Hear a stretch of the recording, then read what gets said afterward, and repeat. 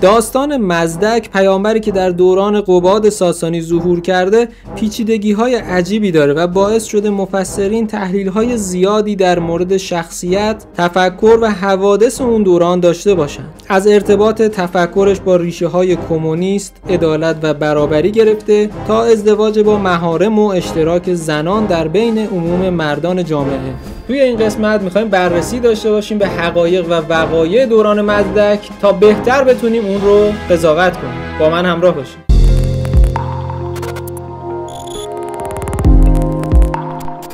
سلام امیدوارم حالتون خوب باشه. به قسمت 59 از شاهنامه به نصر و بررسی دوران ساسانی خوش اومدین. خب همونطور که توی ابتدای ویدیو گفتم ما این قسمت رو مخصوصا در مورد مزدک می‌خوایم صحبت کنیم و وقایع اون دوران رو توضیح بدیم و می‌دونید که ما در این مجموعه از ویدیوها داریم دوران ساسانی رو بر پایه شاهنامه و منابع ایرانی براتون توضیح میدیم و تکیهمون بیشتر بر اونهاست. خب تا دوران قباد توضیح دادیم. گفتیم در دوران قباد یک قائله اتفاق میفته که معروف است به قائله مزدک و در اون دوران مزدک یک ایده ای رو میاره. اون ایده باعث یک سری اتفاقاتی میشه که حالا تو این قسمت می‌خوایم کامل اینا رو براتون شهر بدیم و بررسی کنیم ببینیم که ریشه های اون کجاست و خود اون ایده ها چه اتفاقاتی رو رقم می‌زنه. در همین ابتدای ویدیو یک توضیحی بدم در مورد مزدک اگر مطالعاتی خودتون داشته باشید متوجه میشید که شخصیت بسیار بسیار مبهمی هست در تاریخ و تفسیرهای گوناگونی در موردش ایجاد شده و گفته شده. یکی از مواردی که محل ابهام است خود زمان مزدک هست و زمانش رو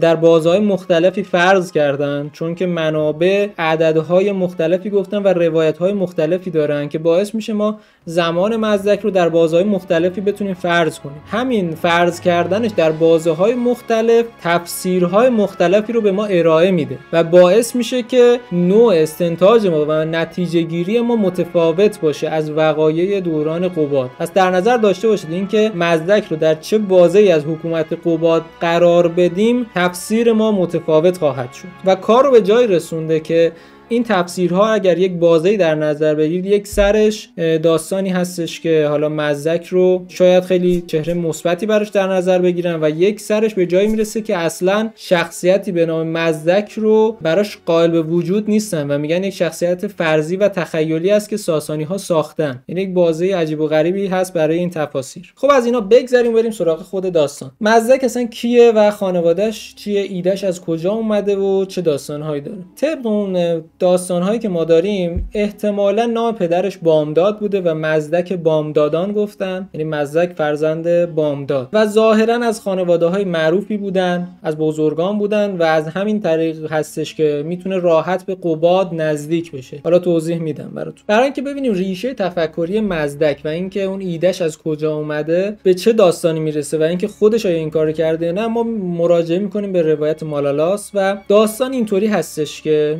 بعد از این که مانی توسط ساسانی ها کشته میشه یک سری شاگردهایی داره. یکی از این شاگردها که به روم رفته اسمش بوندوس هست و اونجا شروع می‌کنه به تبلیغ دین خود مانی. در همین زمان زمان دیوکلسین هستش. اون زمان برخورد با مانوی ها در روم شروع میشه با اینا درگیر میشن. آقای بوندوس که مانوی هست میاد یک بدعت جدیدی در دین مانی ایجاد می‌کنه. در مورد مانی مفصلا در یک ویدیویی صحبت کردیم که می‌تونید به اون مراجعه کنید و خب می‌دونید که ما دیدگاه مثبت مثبتی نسبت به مانی نداریم. حالا خود دین مانی که یک جور بدعت حساب میشه دوباره یک بدعت جدیدی در دینش ایجاد میشه و توسط کی؟ همین آقای بوندوس که رفته به روم زمان دیوکلسی. و اون چیکار می‌کنه؟ ایده ای رو میده به عنوان ایده ای که اشتراک در اموال و در زنان هستش. این آقای بوندوس حالا برمیگرده به ایران شاگردهایی رو تربیت می‌کنه. خودش خیلی دنبال به اون شکل گسترش آین نیست و نظریه پرداز هست. فقط به شاگرداش داره آموزش میده و اینها. دو قرن میگذره. این شاگردها میان و میرن جانشینانی داره.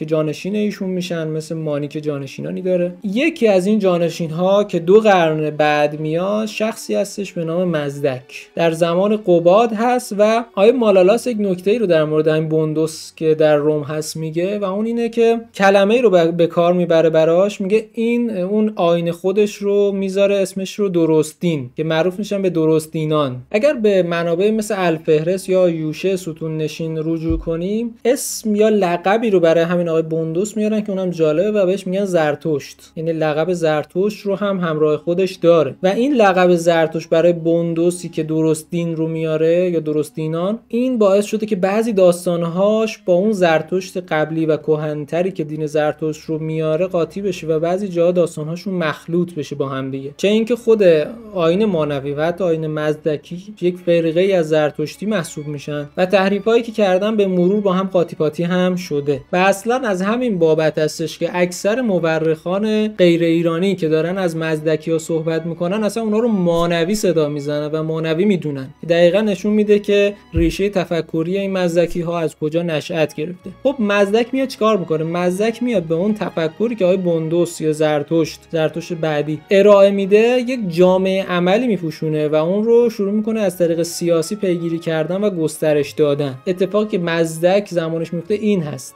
یعنی مزدک میاد اون ایده رو می‌گیره و اون رو وارد جامعه می‌کنه و از طریق حکومت گسترشش میده. زمانی که حالا برای این آقای مزدک ما در نظر گرفتیم با توجه به اون منابع احتمالا زمانی هستش که قباد فعل میشه میره زندان از زندان فرار می‌کنه و دوباره به حکومت برگشته. یعنی دور دوم حکومت قباد هستش. و در مورد دوره اول حکومت قباد تو قسمت های قبلی صحبت کردیم. خب در دور دوم حکومت قباد تقریبا از سال دهم به بعدش طبق اون گزارش هایی که به دست ما رسیده یک قحطی اتفاق میفته و این قحطیه شبیه قحطی است که زمان پدر آقای قباد یعنی پیروز اتفاق افتاده. اون قحطی هفت ساله ای که حالا پیروز به خوبی مدیریتش می‌کنه. دوباره این سیکل قحطی در ایران مثل که شروع شده و در دوره قباد هم داریم. در مورد قحطی توضیح دادم که این قحطی هایی که در از دوران پیروز به شدت شروع میشه در نهایت منجر میشه به خوش شدن درچه ساوه و یک سری تغییرات آب و هوایی در فلات مرکزی ایران. و از اینها هم بگذریم. خب در دوران قبا دوباره قحطی اتفاق میفته و نقش مزدک در این قحطیه مهم است. برای اینکه ببینیم این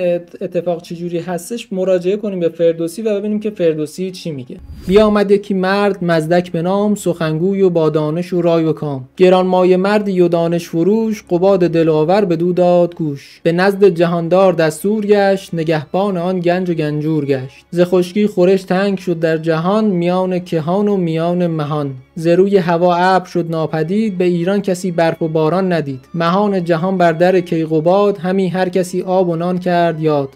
خب همونطور که مشخص هستش فردوسی اینطور داره میگه که مزدک اتفاقا یه آدم سخنگو با دانش و دارای عقل و رای و کام بوده و خیلی دیدگاه منفی نسبت بهش در وهله اولیه نداره. این میاد به نزدیکی مزدک جایگاهش کم کم بالا میره نگهبان گنج و گنجور میشه. پس نشون اینه که قبل از این هم جایگاه بالایی داشته که تونسته به این پست و مقام برسه. با توجه به اون طبقه بندی هایی که در دوره ساسانی و اینها بود. میگه خوشسالی اتفاق میفته و دیگه کم کم خشکی پدید میاد و حتی بزرگان هم در این خوشسالی درگیر میشن و کمبود آب پیدا می‌کنن داستان رو به این شکل ادامه میده. فردوسی میگه که مزدک میاد یکی دوتا مثال رو می‌زنه و یکی دوتا پرسش و پاسخ داره با قباد برای اینکه این مدیریت کنه این خوشسالیه رو. و پاسخهایی رو یک سوالهایی می‌پرسه پاسخهایی رو می‌گیره و در نهایت از این پاسخهایی که می‌گیره استفاده می‌کنه برای اینکه بره پیش مردم و بگه که شاه یه همچین چیز رو به من گفته پس شما می‌تونید همچین کاری بکنید. و اون چه کاریه؟ فردوسی اینطوری میگه.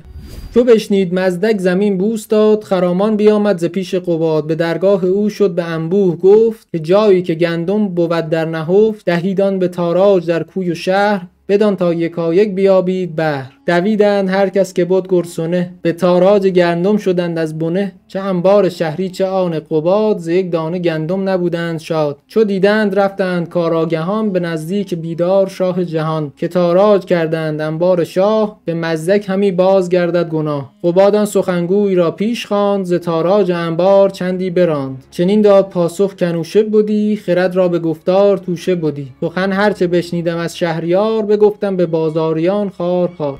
خب مزدک از طریق اون صحبت هایی که با قباد می‌کنه میاد به مردم میگه که قبادی همچین چیزهایی به من گفته و دستور میده که خب برید تاراج کنید انبارها رو چه انبار شهر رو چه انباری که مخصوص پادشاه هست و اندازه نیازتون بردارید و اونجا رو تقریبا غارت می‌کنن مردم و خبر رو میان به گوش آقای قباد میرسونن. میگن که یه همچی اتفاقی افتاده و مسببش مزدک هست. و مزدک رو فرا می‌خونه شاه و بهش میگه که چرا داری همچین کاری می‌کنی و انبارهای ما رو خالی کردی؟ و اونجا بهش میگه که خب من از تو خودت پرسیدم مثالهایی رو بهت گفتم تو جواب دادی و من همونا رو به مردم منتقل کردم و بر اساس عدل و داد رفتار کردم و نتیجه هم همین هستش که می‌بینی. فردوسی اینطور ادامه میده که گفت و شنودهای بین مزدک و قباد اتفاق میفته و مزدک کم کم می‌تونه قباد رو به خودش نزدیک کنه و قباد جذب دادگستری و عدالت اون میشه. همینجا یک اختلافی در تفاسیر پیش میاد و همین مطلب که گفتم قباد جذب عدالت و دادگستری مزدک میشه خودش در بین مفسرین اختلافات شدیدی داره. در مورد اینکه ما این مسئله رو یعنی زمان ظهور مزدک رو بعد از بازگشت مجدد قباد در نظر گرفتیم یعنی دور دوم حکومتش برمیگرده خب به روایت های مختلفی مثل مثلا اوتیکیوس که گفته که سال دهم قباد هست که مزدک ظهور می‌کنه و اون قحطیه یا خود روایت فردوسی هم داره همین رو به ما میگه میگه که مزدک در دور دوم حکومت قباد هستش که ظهور می‌کنه. پس ما اینو فرضمون رو بر این گرفتیم که این منابع دارن درست میگن. روی این وقتی میریم جلو خب خود فردوسی هم داره میگه که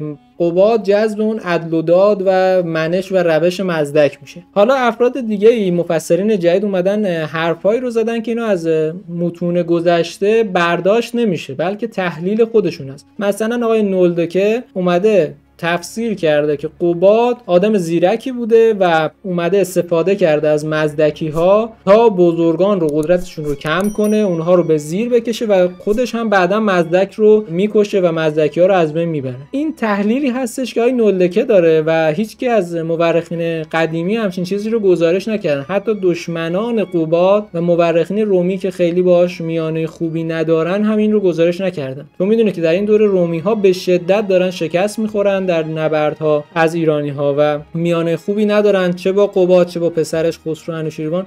ولی حتی اونها هم گزارشی در مورد اینکه قباد درو هست مزور هست ریاکار هست و اینها چیزی نگفتن و برعکس شخصیت قباد در اکثر منابع چه خارجی چه داخلی شخصیت بسیار فرهیخته شخصیت با عدالت و دادگستر هستش و در مسائل مختلف هم این رو می‌بینیم. چه در اون مسائلی که حالا مالیات ها هستش که بعدا خواهم گفت چه در نبردها و گزارش های مختلفی که هستش نشون میده قبا شخصیت اتفاقا دادگستری داره و به شدت جذب میشه به افرادی که می‌خوان عدالت و دادگستری انجام بده یک دلیل دیگه هم برای این ما داریم و اون اینه که شما اگر مراجعه کنید به قدرت بزرگان چه در دوره پیش از قباد چه در دوره قباد و چه در دوره بعد از قباد می‌بینیم که هیچ تغییری نکرده. چه در دوره خسرو انوشیروان چه در دوره قباد هیچ اتفاقی برای جایگاه بزرگان نمیفته و اصلا نمی‌بینیم که این سوء استفاده اصلا اثری داشته باشه اگر تحلیل آقای نولدکر رو بپذیریم. و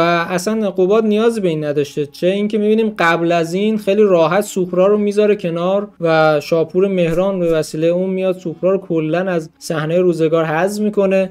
بعد از اونم که حتی بزرگان قباد رو به زیر می‌کشن میره و به کمک هپتالی ها دوباره به قدرت برمیگرده. پس نیازی به مزدک و دار و دسته مزدک نداره. حتی حتی اگه بپذیریم که این قضیه درست هم هست و قباد در نظر داشته که از مزدک استفاده کنه برای کاهش قدرت بزرگان اما در عمل ظاهرا این اتفاق نمیفته و خود قباد هم به این نتیجه شاید رسیده که کارایی نداره و استفاده ای نکرده. در هر صورت منجر به نتیجه نمیشه. و این نکته مهمی هستش که در نظر داشته باشید این تحلیل هستش و مورخ این رو نگفته. و برای همین است که در کلیت ما یک نگاه مثبتی داریم به ساسانی ها و نگاهمون خوب هست. دوستانی اومدن ایراد گرفتن که آقا شما خیلی اینا رو خوب قضاوت می‌کنید دیدگاهتون مثبته. حقیقت اینه که اگر شما بیطرفانه و بدون تعصب برید سراغ تاریخ و تاریخ ساسانی و اون دوره رو بررسی کنید و در نظر داشته باشید که وقایع اون دوره رو با توجه به متر و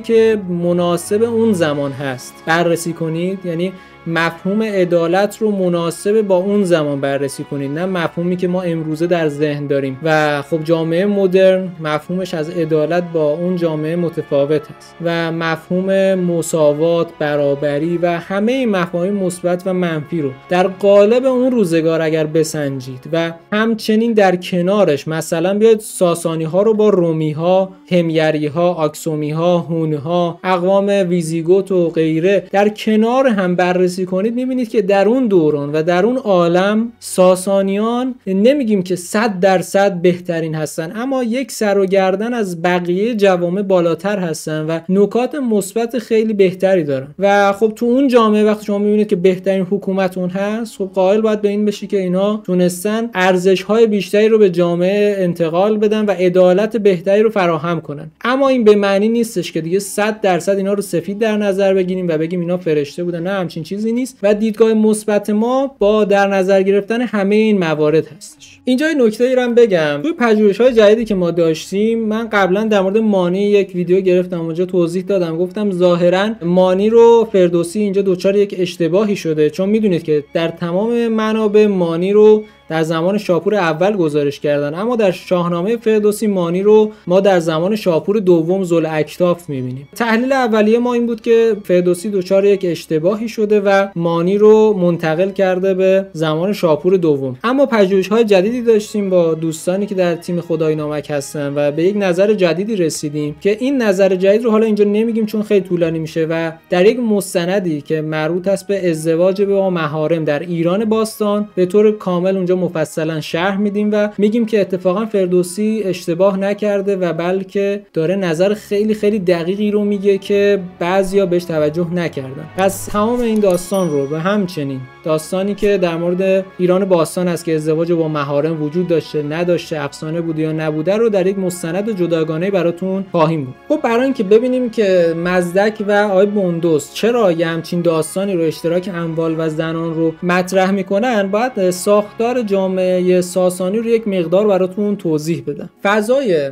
اجتماعی سیاسی و ساختار و بافتار حکومت ساسانی بر دو تا پایه خیلی خیلی مهم استوار هست و تا جایی که بتونن هر کس که بخواد به این دو تا پایه نزدیک بشه باش دشمنی می‌کنن پایه اول بر مبنای مالکیت هست و پایه دوم بر مبنای تبار و خون. و دقیقا شما می‌بینید که مزدک و آقای بوندوس میان دست می‌ذارن بر همین دوتا پایه و می‌خوان این دوتا پایه رو هدف قرار بدن. مالکیت که خب مشخص هستش خاندانهایی هستن که زمینهای زیادی دارن. برده های زیادی دارن خدمتکاران زیادی دارن و این تملک اونها رو میرسونه. و از طرفی ما خود خاندان ها رو داریم که مبناشون همون تبار و خون و اینها هستش که اینها هم شاکله اصلی حکومت ساسانی رو تشکیل میده. خب اگر ما به نامه تنسر مراجعه کنیم که از متون پهلوی هستش در اونجا یک سری امتیازاتی و وجه تمایزی بین بزرگان و آهاد جامعه قائل شده و اون این هستش که بین بزرگان و بقیه بین لباسشون مرکبشون سرا بستان زن و خدمتکار تمایز باید قائل شد و بزرگان صاحب اینها هستن. یعنی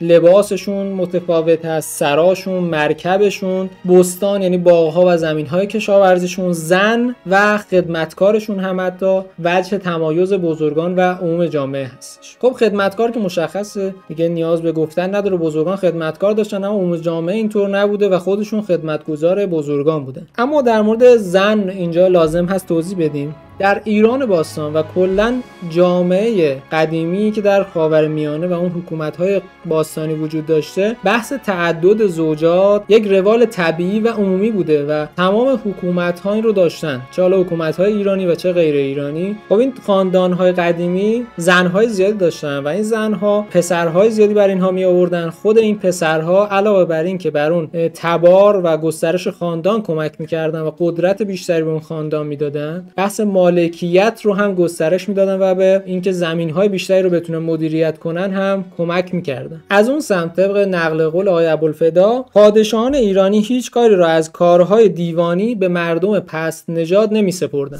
اینجا نژاد منظور اون ژنتیک اون چیزی که امروز حالا شما فکر می‌کنید نیست بحث همون تبار هست که حالا تو قسمت دیگه در موردش توضیح دادم. میگه پادشاهان ایرانی هیچ کار دیوانی و مهمی رو به مردمی که از تبار مهم و خاندانهای مهم نبودن نمیسپردن و این در همین خاندانها نش پیدا می‌کرد و در همینها هم میگشت و دست اینها بود. و دوباره طبق نامه تنسر این رو هم در نظر داشته باشید. حالا جامعه ایرانی طبق اون چیزی که انوشیروان و اینها ازشون می‌دونیم طبقه بندی بوده. جنگاوران موبدان پیشوران صنعتگران و ظاهرا اینطور حالا تفسیر شده امروزه که کسی از این طبقه به اون طبقه به راحتی منتقل نمی شده و اصلا حق نداشته منتقل بشه. حالا یک داستانی در زمان انوشیروان هم نقل می‌کنن برای یک کفشگری که می‌خواسته منتقل بشه و پادشاه باهاش مخالفت می‌کنه. اما به این شکلم که میگن نیست و اتفاقا از نامه تنسر یک چیز دیگه برداشت میشه و اینطوری اومده که اگر کسی می‌خواست از یک طبقه به یک طبقه دیگه منتقل بشه آن را به پادشاه عرضه کنند بعد از آزمودن موبدان و هیربدان و بررسی ها اگر مستحق بدانند به غیر طایفه الحاق فرمایند. یعنی اگر کسی می‌خواست اون طبقهش رو منتقل کنه به یک طبقه دیگه از جنگاور به موبد یا از پیشور به جنگاور یا هر چیز دیگه ای می اومدن اینو بررسی می‌کردن که ببینن این شخص تواناییش رو داره یا نه. اون موبدان و هیربدان اون رو مورد آزمون قرار می‌دادن. اگر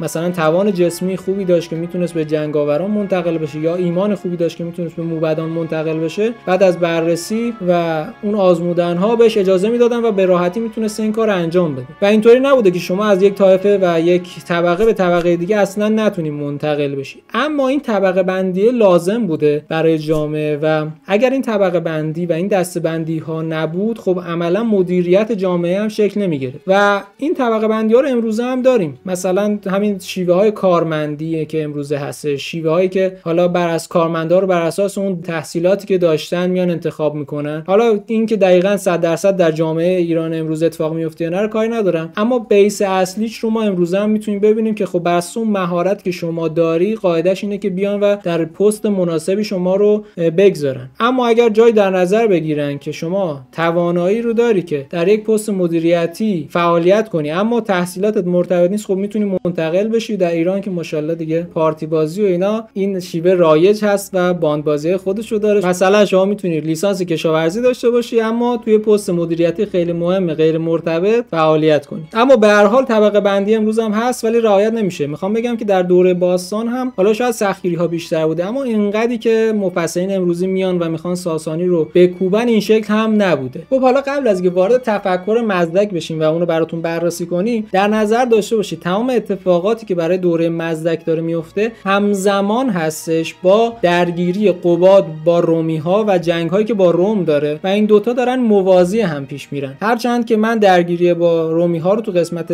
بعدی و مجزا می‌خوام بگم اما در نظر داشته باش که این دوتا کاملا موازی همن و همزمانی که داره با رومی ها میجنگه این داستان های مزدک و اینا هم داره اتفاق میفته خب تفکر مزدک و مانوی ها رو هرچند توضیح دادم که اینا خیلی پیچیده است مباحث فلسفی داره بنیاد فکریشون و اینها خیلی پیچیده تر از اونی هست که شما فکر می‌کنید و خب جاش نیست که اینجا بحثش رو باز کنیم. خیلی حوصله سربر و عمیق هست. اگر می‌خواید که یک بینش خوبی نسبت به مانوی ها و مزدکی هایی که خب خیلی نزدیک هستن به مانوی ها داشته باشین می‌تونید کتاب آقای میشل تاردو رو که مانویت هست عنوانش اون رو مطالعه کنید. بینش خوبی بهتون میده. اما ما اونو نمی‌تونیم واردش بشیم چون خیلی میگم مباحث حوصله سربری داره. اما در کلیتش بریم ببینیم که تفکر مزدکی چیه؟ خب مزدکی ها در کلیتش همون چیزی رو دارن میگن که مانوی ها دارن همون سنویت خیر و شر و دوگانگی و اینها. اما به مرور به یک اصل دیگه می‌رسن و میگن که علت اصلی ناسازگاری های بشری عدم برابری و مساوات هست. و خب برای اینکه بیان این قضیه رو حل و فصلش کنن و این ناسازگاری ها رو از بین ببرن می‌خوان برابری و مساوات رو در جامعه گسترش بدن و می‌رسن به اون مفهوم اشتراک اموال و زنان. میگن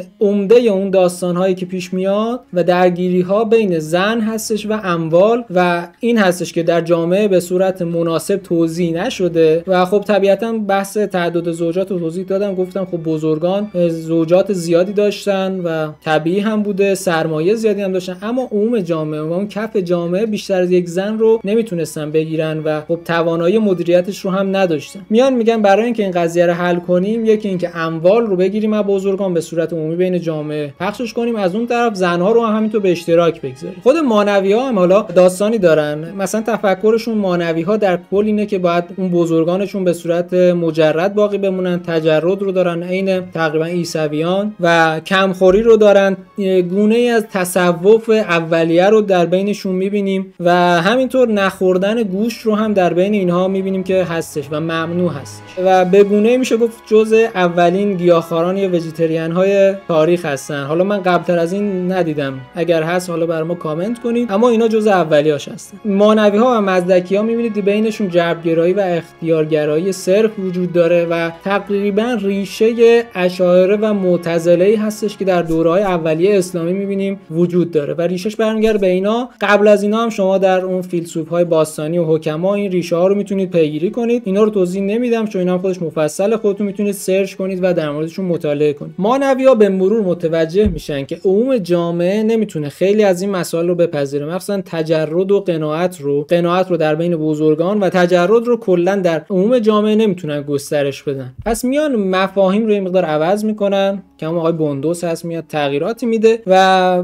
به یه راه حلی می‌رسن برای عموم جامعه. میگن بحث تجرد و قناعت خب برای اون موبدان دین مانوی هست. اما عموم جامعه ای که می‌خوان از دین ما پیروی کنن بیان بحث اشتراکات رو در نظر بگیرن و اینطوری می‌خوان این قضیه رو حل کنن. اشتراک اموال و بحث اشتراک زنان برای این هستش که عموم جامعه اون تجرد و قناعت رو نمیپذیره برای اینکه حل کنن میان تغییر میدن. این مسائل باعث شده که خب بیان توی تفاسیر امروزی بگن که ریشه های بحث کمونیست برمیگرده به همین مزدکی اما در نظر داشته باشید که کمونیستی که ما در دوره مدرن داریم مفاهیمش خیلی متفاوت هستش با اون بحث مزدکی ها. اصلا کمونیست برای دوره مدرن ساخته شده برای مفاهیم دوره مدرن. مزدکی ها هرچند شباهتی در ساختار اولیه دارن با این تفکر و ممکنه که این تفکر به مرور زمان باعث شده باشه کمونیست امروزی شکل بگیره اما اینا برابر نیستن. خیلی تفاوت دارن و خب ریشه های این تفسیر هم برمیگرده به مفسرینی که در دوره های نزدیک به همین شوروی سابق زندگی می‌کردن و تاثیرات جامعه اون زمان رو می‌بینید بر تفسیری که مفسر می‌خواد از تاریخ گذشته ارائه بده و باعث شده که بیاد یه همچین حرفی بزنه که مزدکی ها همون کمونیست ها هستن ولی خب تفاوت های زیادی دارن. اما میشه گفت که بحث کمونیستی ریشه های خیلی قدیمی فکریش رو مرتبط می‌تونیم بدونیم با همین مزدک و اساسا یک شباهت دیگه ای هم دارن اینه که سیستم کمونیستی در مقابل سیستم سلطنتی قرار می‌گیره. همونطور که می‌بینیم مزدکی ها هم به همین متهم میشن هم در شاهنامه هم در متون دیگه که می‌خوان پایه های سلطنت ساسانی رو از بین ببرن. یعنی اینجا هم دوباره سیستم مزدکی میاد و در مقابل سیستم سلطنت ساسانی قرار می‌گیره. از طرف دیگه بحث اون اشتراک اموال و اشتراک زمین ها و اینها شما در دوره مدرن هم می‌بینیم همین اتفاق میفته و محمد رضا پهلوی میاد طرح اصلاحات ارزی رو میده. میاد میگه که زمین ها باید بین مردم تقسیم بشه تا اونها هم بتونن با عدالت و برابری بیشتری کشاورزی کنن زمین های خودشون رو داشته باشن. اما ریشه این تفکر رو اگر ببینیم می‌بینیم که برمیگرده به همین دوره مزدک و این کار برخلاف اون چیزی که مردم فکر می‌کنن نه تنها باعث آبادانی نمیشه بلکه باعث ویرانی میشه و هرچند ظاهرش ظاهر عدالت داره اما در نهایت منجر به ظلم و بیعدالتی در کشور میشه. حالا جلوتر توضیح میدم چرا این اتفاق میفته. خب ماجرا رو از نظر فردوسی ادامه بدیم و برسیم به اون مباحث بعدی. فردوسی در مورد مزدک میگه که از یک جایی به بعد مسیرش منحرف شد و نظریات جدیدی داد و اینطور ابیاتش رو آورده. به گفتار مزدک همه کج گشت سخنهاش ز اندازه اندر گذشت. بر او انجمن شد فراوان سپاه بسی کس به بیراهی آمد زرا همی گفت هر کو توانگر بود توهیده است با او برابر بود. نباید که باشد کسی برفزود توانگر بود تار و درویش پود. جهان راست باید که باشد به چیز فزونی توانگر چرا جست نیست زن و خانه و چیز بخشیدنی است توهیده است کس با توانگر یکیست من این را کنم راست با دین پاک شود ویژه پیدا بلند از خب رسما داره میگه که مزدک از مسیرش منحرف میشه و اون داستان اشتراک اموال و زن و اینها رو میاره و در ادامه میگه که قباد هم به دین اون در میاد. چو بشنید در دین او شد قباد زگیتی به گفتار او بود شاد. و کم کم کارش می‌گیره و نفرات زیادی دور مزدک جمع میشن و پیروش میشن که اینطور آورده. بر او شد آن کس که درویش بود وگر نانش از کوشش خیش بود. به گرد جهان تازه شد دین او نیارست جستن کسی کین او. توانگر همی سرز تنگی نگاش سپردی به درویش چیزی که داشت. چنان بود که یک روز مزدک پگاه ز خانه بیامد به نزدیک شاه. چنین گفت که از دین پرستان ما همان پاک دل زیر دستان ما. فراوان زگیتی سران بردرند فرود آوری گرز در بگذرند. بفرمود تا تخت بیرون برند ز ایوان شاهی به هامون برند. به دشت آمد از مزدکی صد هزار برفتند شادان بر شهریار. خب داره میگه که دینش گسترش پیدا می‌کنه و اون اتفاقات داره میفته. اموال رو از بزرگان می‌گیرن میدن به اون درویش ها و کسایی که ندارن. زن هم همین اتفاق براش میفته و حتی در یک جایی دستور میده اینا اجتماع کنن و جمع میشن و اونجا حالا عدد 100 هزار رو آورده که اشاره به این داره که پیروان خیلی زیادی دور مزدک جمع میشه. از یه سمت دیگه ما گفتیم که قباد دین مزدک رو میپذیره و کمک می‌کنه به ترویج اون. خب ما در همین زمان می‌بینیم که دستورهایی صادر میشه از قباد به ارمنستان و حتی به عرب که این دین جدید رو بپذیرید خب با منظر پادشاه هیره ظاهرا قبول نمی‌کنه اما حارس پادشاه کنده قبول می‌کنه و شروع می‌کنه این دین رو در بین اعراب نجد گسترش دادن و حتی کار به جایی می‌رسه که ظاهرا حارس حمله می‌کنه و ملوک هیره رو اینجا شکست میده و مدتی حاکم میشه بر هیره و پادشاه اونجا میشه. پس در بین اعراب و در ارمنستان همین دین رو داریم می‌بینیم که گسترش پیدا می‌کنه که حالا در جای خودش بحث می‌کنیم. خیلی نکته مهمی داره.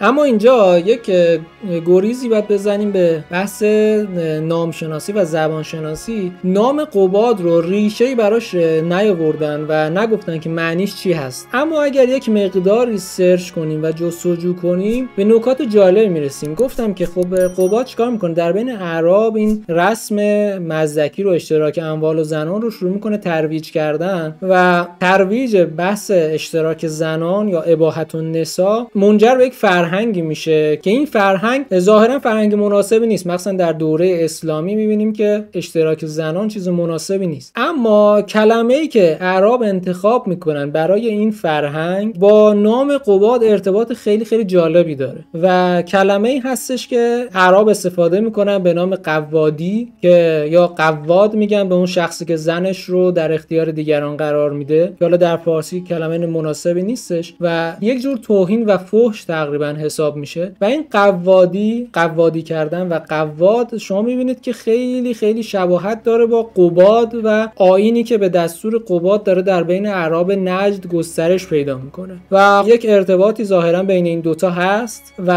از سمت دیگه گفتم که قباد خب خب ریشهاش مشخص نیست طبق اون چیزی که برای ما گفتم و از سمت دیگه قباد معروف است به بخشندگی و عدالت و سخی بودن و احتمالا ارتباطی داره با نامی که حالا عرب به عنوان جواد استفاده می‌کنن که از ریشه جود گرفته شده و جواد به معنی کسی که بخشنده هست و خیلی راحت با یک تغییر آوایی جواد و قباد من تبدیل میشن. البته اینا رو کسی به صورت رسمی نیاورده و ما حدس داریم می‌زنیم که احتمالا اینا با هم مرتبط هستن. پس یک اسم می‌بینید که می‌تونه از یک طریق یک ریشه خیلی خوب و مثبتی بگیره و از طریق دیگه دشمن می‌تونه اونو به عنوان یک فحشی برای شما استفاده کنه. و این چرخش ها رو شما می‌تونید ببینید بین اسامی و حتی در الهه ها و بوت ها هم همین اتفاق می‌تونه بیفته در شخصیت های تاریخی و حتی در بین مذکر و مؤنث شدن الهه ها هم این اتفاق میفته خب از این هم بگذریم. اگر به هیون تسیانگ چینی که از مورخین چینی هم هستش در اوایل قرن هفتم رجوع کنیم نقل قولی داره و میگه که ازدواج ایرانیان عصر خودش خیلی خیلی آشفته است و قوانینش مشخص نیست. شاید مرتبط باشه با همین مزدکی ها و مانوی که فرار می‌کنن به سمت شرق ایران در یک دوره اونجا دینشون رو گسترش میدن. شاید هم به این مرتبط نباشه چون خود آین ازدواج در متون ساسانی هم خیلی خیلی قواعد پیچیده ای داره و اگر به ماتیکان هزار دستان رجوع کنید اونجا می‌بینید که موارد زیادی هست تبصره های زیادی رو داره. اما بریم سراغ بحث این که چرا قباد با مزدکی ها درگیر میشه و علت درگیریش چیه. خب نکته ای رو توی متون باستانی می‌تونید شما پیدا کنید در مورد اتفاقاتی که به مرور تو اون چند سال مزدکی ها ایجاد می‌کنن. و اینطور اومده حجاب حفاظ و ادب مرتفع شد و قومی پدید آمدن نه آراسته به شرف هنر و عمل و نه زمین موروس و نه غم حسب و نسب و نه حرفه و صنعت. فارغ از همه اندیشه خالی از هر پیشه. مستعد برای شریری و انهای اکاذیب و افترا خب مشخصا داره در مورد مزدکی ها صحبت می‌کنه و نکته جالبی رو میگه. میگه قومی که پدید اومدن اینا نه هنر و عملی دارن نه پیشه ای بلدن نه زمین موروسی دارن نه غم حسب و نسب دارن. از هر اندیشه هم خالی ذهنشون و راحت افترا می‌زنن و اکاذیب رو گسترش میدن. خب همین داستان و گسترش این تفکر مزدکی و همونطور که طبق این متنی که خوندیم دیدین باعث میشه کم کم قارت هم زیاد بشه. قارت اموال رو شروع می‌کنن قارت زنان رو شروع می‌کنن. یک سری نسل های پدید میاد که اینا پدرانشون مشخص نیستش چه کسانی هستن. وقتی پدرش مشخص نباشه تبارش مشخص نیست پشتیبانی نداره زمینی نداره و میگم حسب و نسبش مشخص نیست. و از سمت دیگه این اموال و زمین هایی که به زور مصادره می‌کنن و تقسیم میشه بین اینها خب اینا خودشون قائل به این بودن که ما دیگه نباید خدمتکار باشیم. از طرفی بزرگان که هم نمی اومدن خدمتکار اینا باشن. اون زمین دیگه توش کشاورزی اتفاق نمی افتاده و آبادیش از بین می‌رفته. اگر هم می‌خواستن کشاورزی کنن با هم متناسب نبوده و اختلافاتی در اون محصولات که میکاشتن بوده که خودش دوباره نیاز اون شهرها رو به هم میریزه و باعث میشه که آبادانی ها به مرور کم بشه. و اینو ما در دوره خسرو شیروان هم می‌بینیم که تمام سعیش این هستش که دوباره شهرها رو آبادانی ها رو بهش برگردونه و تلاش داره می‌کنه اتفاق بیفته. پس می‌تونیم نتیجه بگیریم در اواخر دوره قباد به شدت این اصلاحات ارزی و تقسیم شدن زمین بین مردم به صورت مساوات باعث از بین رفتن آبادی میشه. چون که اینا خب متخصص هم نبودن در این زمینه به اون شکلی که بزرگان می‌تونستن مدیریت کنن این زمین ها رو و اون خروجی ازشون بگیرن اینا نمی‌تونستن و خود همین دوباره علاوه بر اون داستان های قبلی باعث میشه که آبادانی تبدیل بشه به ویرانی. همه اینها باعث میشه که به مرور قباد از لحاظ لحاظ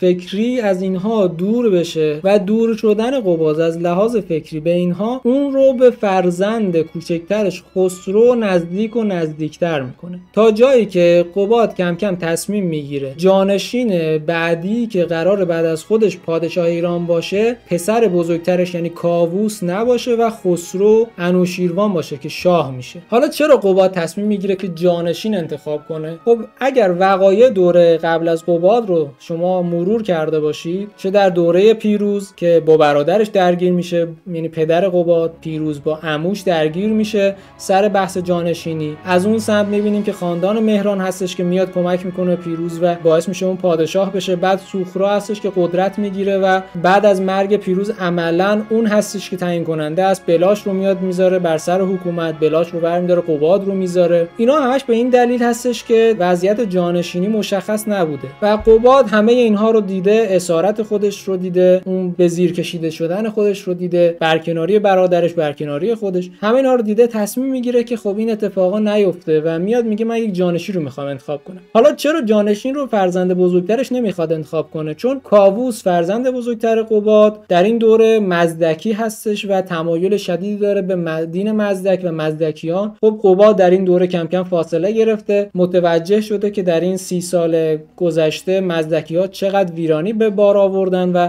باعث چه اتفاقات منفی شدن و می‌دونه که به نفع مجموعه ایران نیستش این تفکر و گرایش پیدا می‌کنه به فرزندش خسرو. اما درگیری شدید بین قباد و مزدکی ها دقیقا زمانی اتفاق میفته که مزدکی ها که حالا قدرت گرفتن و زورشون زیاد شده میان و در مسائل سیاسی دخالت می‌کنن و کم کم کارشون به جایی رسیده که می‌خوان به زور کاووس رو به عنوان جانشین قباد معرفی کنن. هم از متن شاهنامه میشه این رو برداشت کرد. هم از متونی که مورخین رومی و سوریانی و اینها گزارش دادن هم از مورخین اسلامی. کاملا واضح هستش که مزدکی ها دارن دخالت می‌کنن و به شاه فشار میارن که کاووس به عنوان جانشین انتخاب بشه. در این بین خب قبا تصمیم می‌گیره که از پادشاه روم کمک بخواد و خسرو رو به عنوان فرزند خونده قبول کنه تا بحث جانشینی خسرو یک پشتیبانی داشته باشه. حالا بحث جانشینی رو مفصلا در قسمت های بعدی توضیح میدم. اما یک نفری که همون سیاوش هست که تو قسمت های قبلی توضیح دادیم میاد یک مقداری دخالت می‌کنه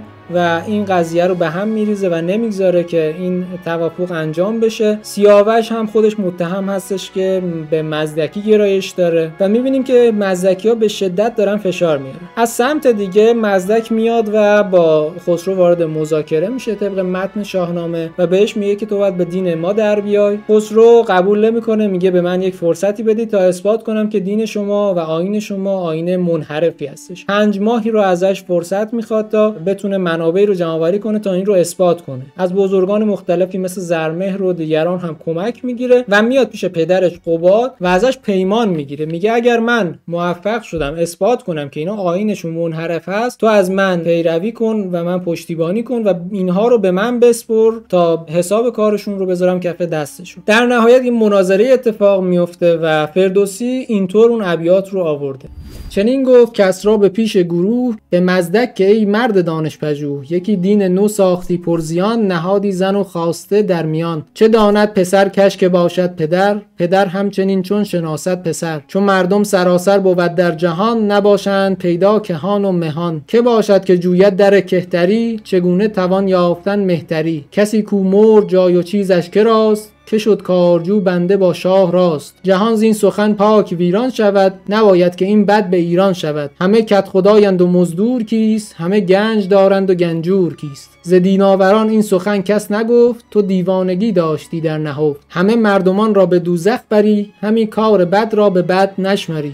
خب این ابیاتی بود که خسرو در اون مناظره به مزدک میگه و مزدک هم ناتوان هست از پاسخ مناسبی که بتونه به این سوال ها بده و در نهایت به این نتیجه می‌رسن که مزدک رو باید اعدام کنن. و قباد خب تسلیم میشه طبق اون توافقی که داشته و مزدک و مزدکیان رو تسلیم خسرو می‌کنه و طبق متن شاهنامه و عموم متن شاهنامه سه هزار نفر رو در اون روز قتل عام می‌کنن به دستور خسرو و قباد. اما این پایان کار مزدکیان نیست. خب اینا به مرور منتشر میشن در نواحی مختلفی به ترویج آینشون می‌پردازن اما دیگه در عرصه قدرت نیستن و به این ترتیب این خطر نابودی حکومت ساسانی در اینجا کمرنگ میشه و اون بحث مالکیت و تبار سر جای خودش میمونه. اما خب مزدکی ها اثرات خودشون رو می‌گذارن که حالا در آینده آینده بهشون می‌پردازیم. اما نکته ای که اینجا باید بهش برسیم اینه که بعضیا میان میگن که این کشتاری که اینجا اتفاق افتاده ظلم ساسانی ها رو نشون میده اینها ظالم بودن. نکته ای که باید در نظر داشته باشید اول اینکه مفهوم عدالت و ظلم و اینها رو در دوره ای که مربوط به اون تاریخ هست باید بررسی کنید که گفتم در ابتدای ویدیو. و با مفاهیم امروزی اول بررسیش نکنید. دوم اینکه هر کشتار و هر قتلی ظلم نیست. چه اینکه اینجا حتی این 3000 نفر همه همشون ایرانی بودن کشته شدن. اما از روی آثاری که این اتفاق داشته میشه فهمید که این ظلم بوده یا نبوده. خب ما ویرانی هایی که به بار آورده رو توضیح دادیم. خود خسرو در مناظره داره میگه که نسلی به وجود اومدن که اینا پدرشون مشخص نیست و اینا اموالی ندارن. باعث ویرانی کشور شده. بزرگ و کوچک با هم برابر شدن. همین برابری باعث شده که نه این کار اونو انجام میده نه اون کار اینو انجام میده و بحث مناسبات دیوانی و اداری کشور به هم ریخته. و از سمت دیگه می‌بینیم که آثار مثبتی بعد از این در حکومت ساسانی اتفاق میفته ما از دوره قباد و بعد از این کشتار و همینطور بعد در دوره خسرو انوشیروان رشد مداوم ساسانی ها رو می‌بینیم و به شدت پیشرفت رو می‌بینیم در عرصه های مختلف چه نظامیش و چه بحث عدالت گستری و شهرسازی و بحث مالیات رو می‌بینیم. خیلی سر و سامون داده میشه و به نفع مردم هست. و اوج این رو می‌تونیم در دوره خسرو پرویز ببینیم که دیگه یک دوره ای هستش که برتری کاملی رو پیدا می‌کنن ساسانی ها نسبت به رومی ها و تقریبا اکثر حکومت روم رو می‌گیرن و تصرف می‌کنن و این آثار مثبت رو کاملا می‌تونیم ارجاع بدیم به این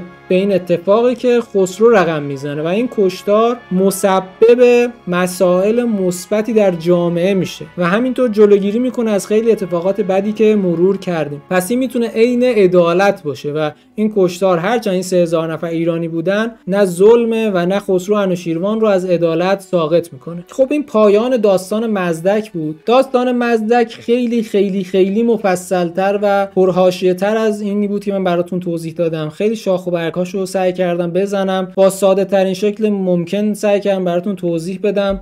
چون میگم محل ابهام زیادی تفسیرهای مختلفی ازش خارج کردن. اینکه شما چه مورخی رو در نظر بگیری می‌تونی تفسیرهای مختلفی رو از حرفش برداشت کنی. من سعی کردم تمام این داستانها رو بخونم و اون شاکله کلی که ازش میشه برداشت کرد و به نظرم به صحیح ترین و حقیقی ترین داستان نزدیک بود رو براتون گزارش دادم. خب امیدوارم که از این ویدیو هم لذت برده باشید و توی قسمت های بعدی در مورد نبرد قباد با رومی ها خواهیم گفت که خیلی خیلی داستان های جذابی داره. تا قسمت بعدی بدرود.